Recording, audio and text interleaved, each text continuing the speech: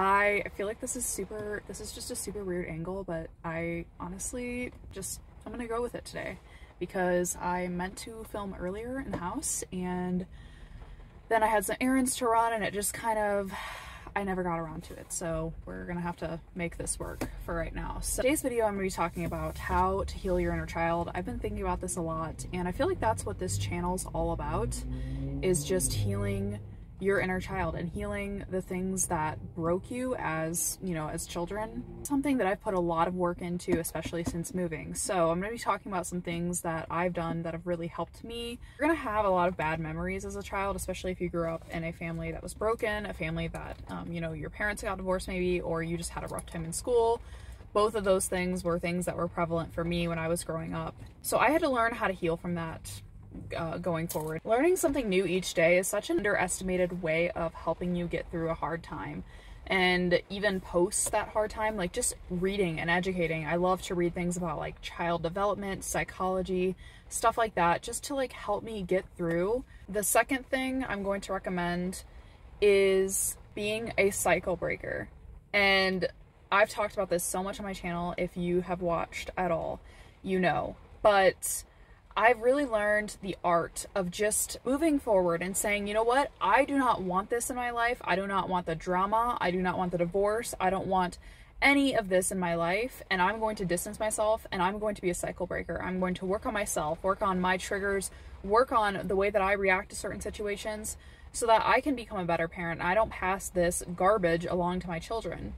And guys, I want to say, please do not let the people that hurt you make you better because if you do then they won.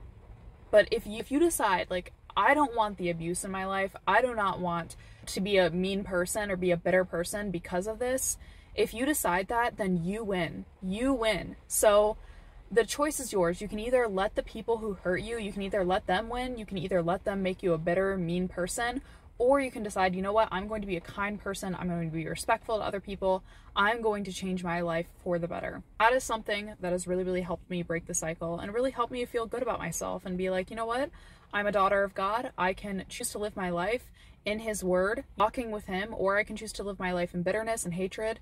And you know what, I want to live my life in peace and I want that peace for myself. And so I'm going to do everything I can to get rid of anything that puts a wedge between me and peace. Okay, the next thing is, so I have a ton of uh, pictures from my childhood and I look at myself and I, you know, a lot of times it's easy for us to remember the bad memories. It's not that you should um, blank out bad memories, but it's really, really important, um, at least for me, to look at those pictures and to tell myself everything I needed to hear when I was a kid give myself affirmations and it may seem like the weirdest thing you've ever heard but i promise you it's so so good.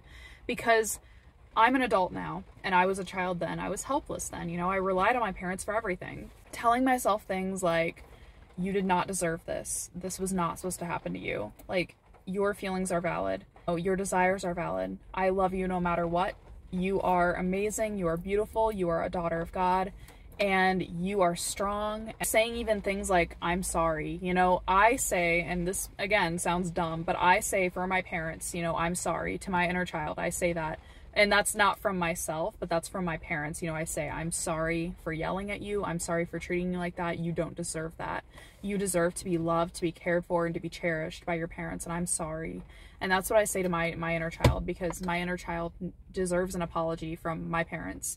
But since I never received that, and most of the time, you know, you'll never receive an apology from abusers, you can say to yourself, your inner child, you did not deserve that. And you did not deserve the abuse. You did not deserve the trauma.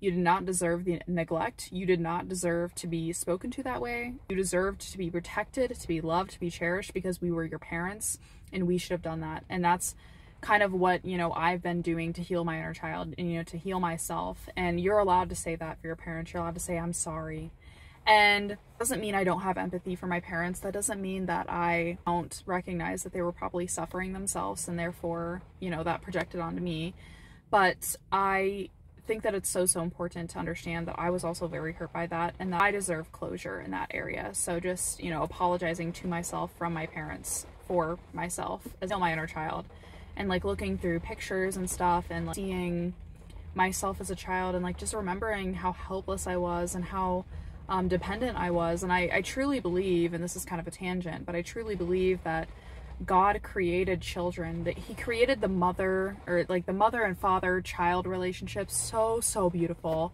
And His intention for it was for it to be a loving relationship, for gentle parenting to be there, for, you know, parents to lovingly guide their children along to adulthood. But unfortunately, you know, given that, you know, we live in a broken world where people are broken and generational cycles exist, unfortunately that's it doesn't happen that way a lot of the time which is sad but you know doing my part to make sure that you know i i restore what god intended which was a gentle parenting relationship with a parent and a child and lo lovingly guiding them to heaven and to an adult and into adulthood and making them healthy productive adults you know healthy physically he healthy mentally. And i'm sorry if you guys hear rain. Uh, i probably should have said that at the beginning of the video but it's very rainy here today so Anyway, next thing I want to touch on is learning. Okay, so this was something that I struggled with a lot, you know, and I still do struggle with it a lot if I'm being honest.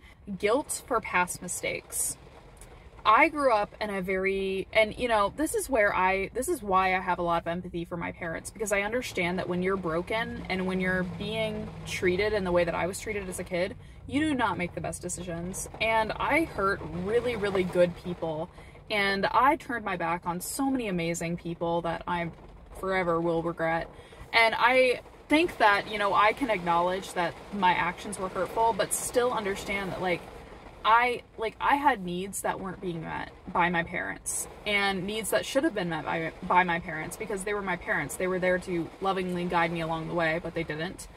And just learning how to throw the guilt out the window for my mistakes because I was hurting so much. Like the most and I will say this still to this day, the most difficult thing I've had to go through is going through struggles alone as a child.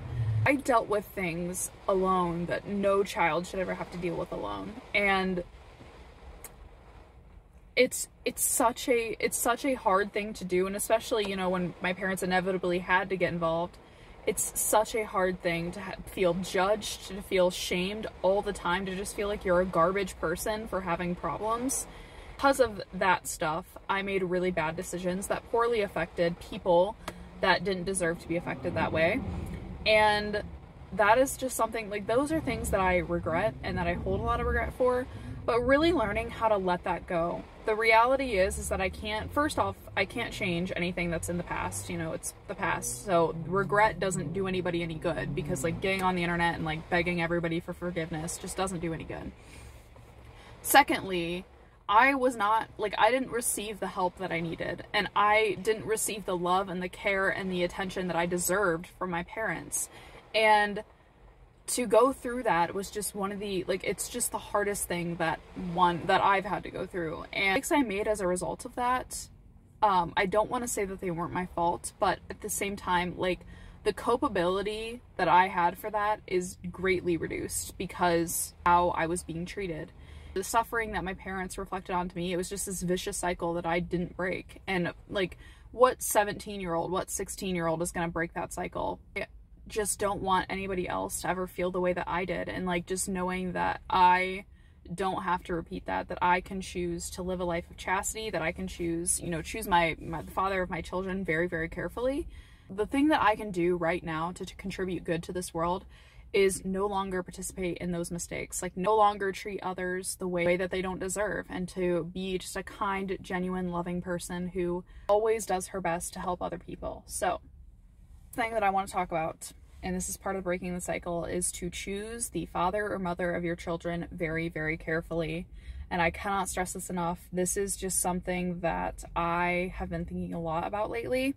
We cannot be cycle breakers if we choose to sleep around and we choose to cloud our judgment so that we can't clearly see and we can't clearly learn the father or mother of our children.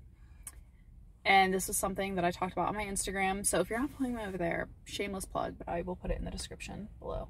That is part of being a cycle breaker is choosing the mother or father of your child very, very carefully, is choosing to value yourself and to say, you know what, I'm not going to be having sex with people who didn't don't deserve it. And to be honest, nobody deserves to have sex with you but the person who vowed their life to you. So, healing your inner child by choosing not to sleep around, by choosing to live a life of chastity so that you can clearly discern whether or not this person is a will be a good mother or father to your child. So, all right, so that concludes today's video. Let me know in the comments, what do you guys do to heal your inner child? If you are new to my channel, hi, my name's Julia. I'd love for you to subscribe. I love to talk about parenting, sex, relationships, all that kind of stuff. So that sounds like content you're interested in, hit that subscribe button, and I will see you guys in my next video. Bye!